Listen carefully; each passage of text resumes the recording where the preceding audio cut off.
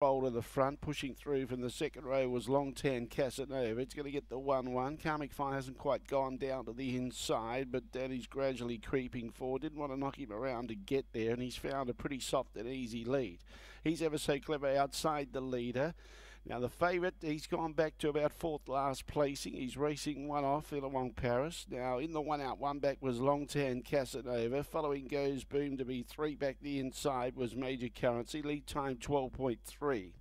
Now, following Longtan Cassanova is Julius Franco. Then in turn, a margin of seven or eight metres to Illawong Parris. Favourite settles down in fourth last placing. Going down to the inside was Targaryen Hanover. It's in third last placing. Mackalan follows the favourite wherever it goes, and no, no City Chick at the tail end of the field.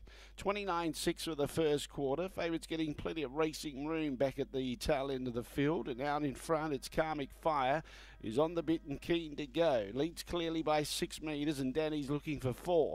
On the outside, he's ever so clever. On the inside is Goes Boom. Longtan Cassanova is one out, one back.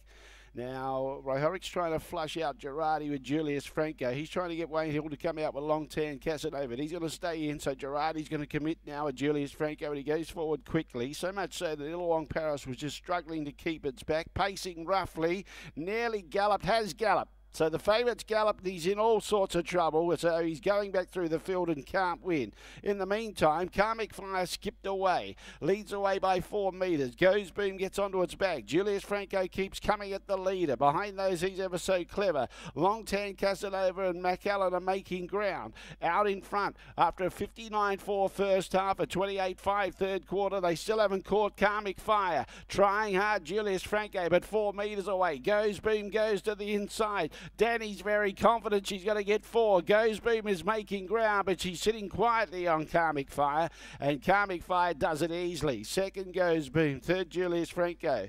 Uh, either Mackalan or Longtan Cassanova for four, but they're about 20 metres away. Behind those major currency, he's ever so clever. Uh, the favourite galloped at a vital stage, but never looked a winning chance really at any stage Illawong Parris. Behind those, No City Chicken. The last one home was Targaryen Hanover.